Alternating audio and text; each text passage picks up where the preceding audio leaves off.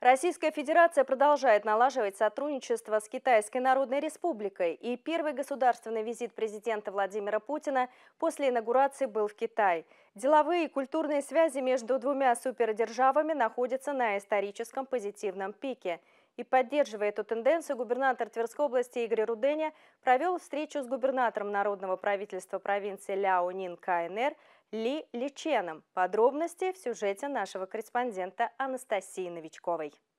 Открывая встречу, глава региона поблагодарил губернатора Лила Чена за ответный визит делегации провинции Ляонин Китайской Народной Республики в Тверскую область. В этом году тверские производители успешно представили и реализовали свою продукцию на двух э, крупных выставках, которые прошли в Шиньяне и провели большое количество переговоров.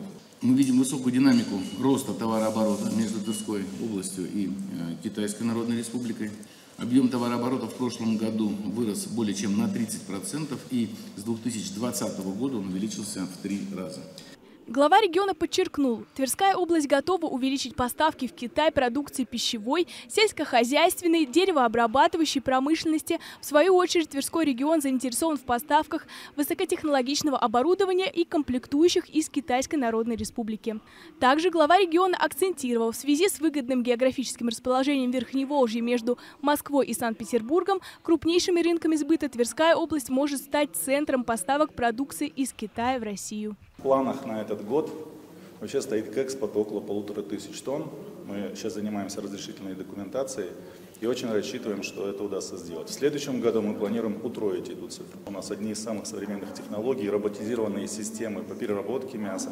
Поэтому мы уверены, что можем предложить китайским партнерам очень хороший сервис, а конечным китайским потребителям хорошее качество и вкус. Среди приоритетных направлений сотрудничества с провинцией Ляонин Игорь Руденя назвал развитие промышленной кооперации между предприятиями, размещение в Тверской области производств китайских товаров, реализацию совместных проектов в сфере культурного взаимодействия, взаимное увеличение туристического потока. А, экономика китайского туризма, она велика.